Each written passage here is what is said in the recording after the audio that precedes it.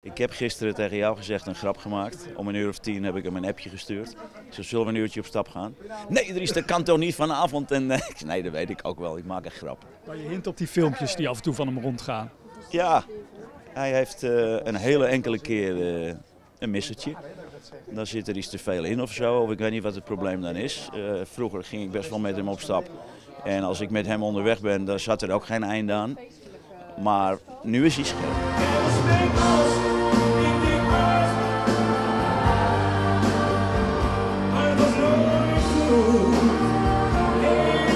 flow